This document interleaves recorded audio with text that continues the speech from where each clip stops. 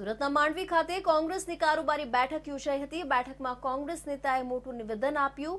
કોંગ્રેસ આપના ગઠબંધન અંગે કોંગી નેતાના નિવેદન આપ્યા બાદ આ નિવેદનને લઈ હડકંપ મચ્યો છે.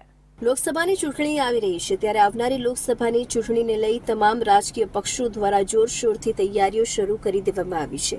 સુરતના માંડવી ખાતે પણ આવનારી લોકસભાની ચૂંટણીને લઈ કોંગ્રેસ દ્વારા કારોબારી બેઠક યોજવામાં આવી હતી, જેમાં કોંગ્રેસના દિગ્ગજ નેતાઓ હાજર રહ્યા હતા. યોજાયેલા કારોબારી બેઠક દરમિયાન પૂર્વ વિપક્ષ નેતા સુખરામ રાઠવાએ એક મોટું નિવેદન આપ્યું હતું. કોંગી નેતા સુખરામ રાઠવાએ કોંગ્રેસ આપના ગઠબંધનને લઈ નિવેદન આપ્યું હતું. કોંગ્રેસ નેતા સુખરામ રાઠવાએ કોંગ્રેસ આપના ગઠબંધનથી દક્ષિણ ગુજરાતમાં કોંગ્રેસ પતી જશે તેવું નિવેદન આપ્યું હતું. કોંગી નેતા સુખરામ રાઠવાએ આમ આદમી પાર્ટી આવવા પછી કોંગ્રેસની હાલત બગડી ગઈ હોવાનું જણાવ્યું હતું. યોજાયેલી બેઠકમાં કોંગી નેતા સુખરામ રાઠવાએ આમ આદમી પાર્ટી પર અનેક ચાપખા માર્યા હતા અને આમ આદમી પાર્ટીને ભાજપની જ બી ટીમ ગણાવી દીધી હતી. આમ આદમી પાર્ટીના લીધે જ વિધાનસભાની ચૂંટણીમાં કોંગ્રેસને નુકસાન થયાનું નિવેદન કોંગ્રેસ નેતા સુખરામ રાઠવાએ આપ્યું હતું. ત્યારે વધુમાં, એલાયન્સના ભોગે દિલ્હી બાદ ગુજરાતને નુકસાન ન થાય તેનું ધ્યાન રાખવું જવાબદારી છે તેમ જણાવ્યું હતું.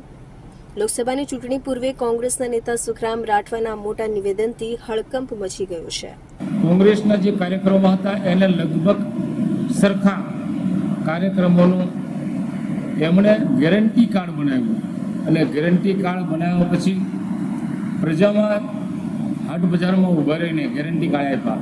કે અમારી સરકાર આવશે તો અમે આટલું કરશું.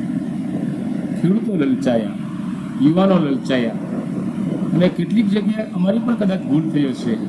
પણ અમે એમાં જાગી શક્યા નહીં એને કારણે કોંગ્રેસને માનનાર અથવા તો ઓગણીસો નેવું પછીનું જે નવું જનરેશન છે એને કોંગ્રેસનો ઇતિહાસ ખબર નથી, એવા બધા યુવાનો આપ પાર્ટીમાં ગયા અને આપ પાર્ટીએ કોંગ્રેસના મત તોડ્યા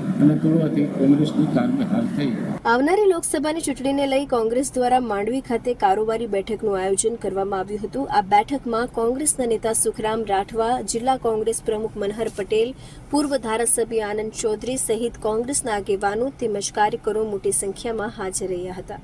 આવનારી ચૂંટણીને લઈ કોંગ્રેસ દ્વારા બેઠકમાં રણનીતિ ઘડવામાં આવી હતી.